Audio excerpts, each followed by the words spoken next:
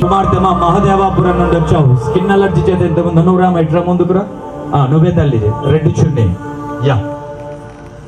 ఈ కుమార్తె ఆ, ముందుకురా తల్లి ముందుకురా ఈ కుమార్తె భయంకరమైనటువంటి ఆ, దుష్టపాత్మ ఈ బిడ్డకు పట్టిండేది.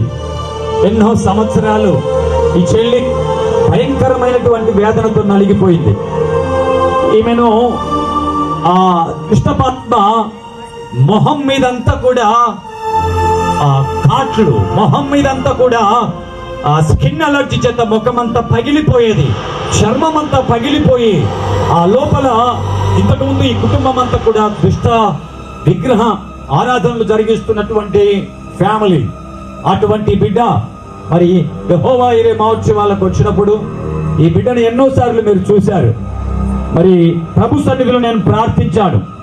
మొత్తం చర్మం చీలిపోయి లోపల ఆ ఎర్రగా రక్తము లోపల ఆ మాంసము కనిపించేది చర్మం ముఖం మీద. ఆ బిడ్డ ఎంత వేదన పడిందో నలుగురికి మొహం చూపించుకోవడానికి ఎంత నలిగిపోయిందో మరి యేసు స్వామి దగ్గరికి వెళ్ళే కదా?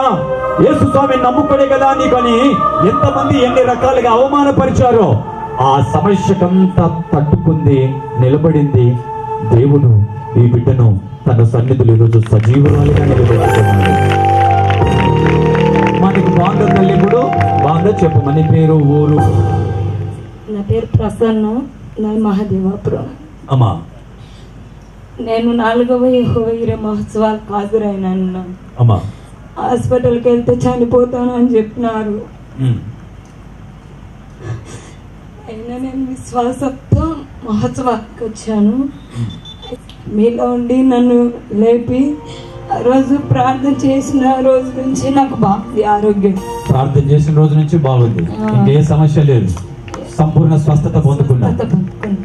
దేవునికి స్తోత్రం కలుగును గాక ఎవడయ్యా చెప్పింది? స్వస్థత వరాలు ఆగిపోయాయని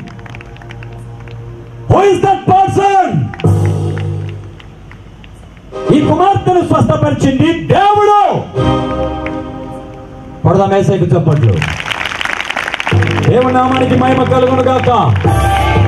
దుష్టమాత్మ చేత దుష్టపు శక్తి చేత పీడింపబడుతూ శరీరం అంతా పగిలిపోయి ఉండగా నా ప్రభు హస్తం ఈ బిడ్డను స్వస్థపరిచింది. నిన్ను స్వస్థపరచు యెహోవాను. నేనే! అని చెప్పిన ఆ గొప్ప దేవుడు అద్భుతకరంగా ఈ బిడ్డను స్వస్థపరిచి సజీవురాలిగా సజీవురాలిగా మందిరంలో నిలబెట్టినందుకు ఆయన నామానికి మహిమ కలుగును గాక. ఆమె నామే నామే నామే